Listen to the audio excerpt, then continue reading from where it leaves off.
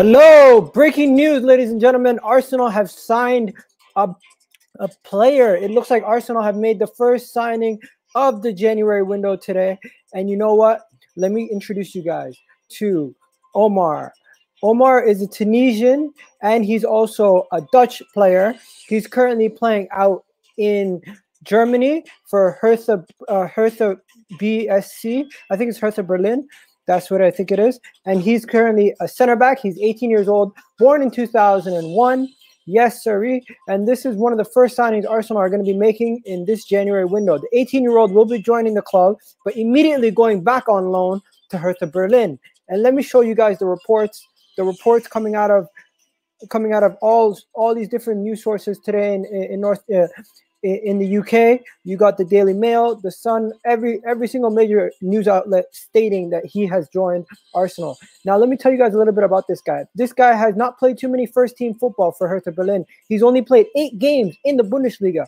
But guess what? He is looking like an up and coming uh, player. Arsenal are buying a lot of young talent. These young talents, it can be hit or miss, but you know what? It is a good idea to do. And if you guys haven't already seen who he is and where he plays, he's a center back currently playing for Hertha Berlin, has eight first team appearances.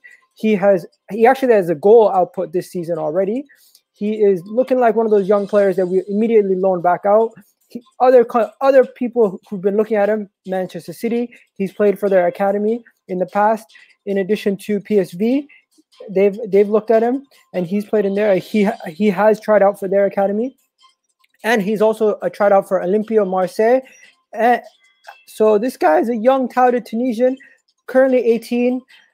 Uh, he's already he's already played for the Tunisian national team and registered for them. He's not going to the Dutch land, but hey, this looks like breaking news. Arsenal have made their first signing of the window, and it looks like this is all but wrapped up, ladies and gentlemen.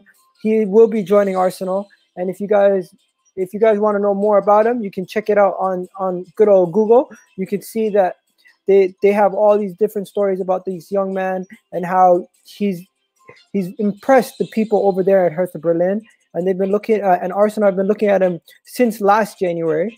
Uh, and hey, even though he hasn't played a, uh, his first appearance was this season, but we've been looking at him and monitoring his situation for a long time, and we'll be sending him back on loan immediately after this. But yeah, ladies and gentlemen, this has been the breaking news. EGTV. You already know what it is, ladies and gentlemen. I'm out of here.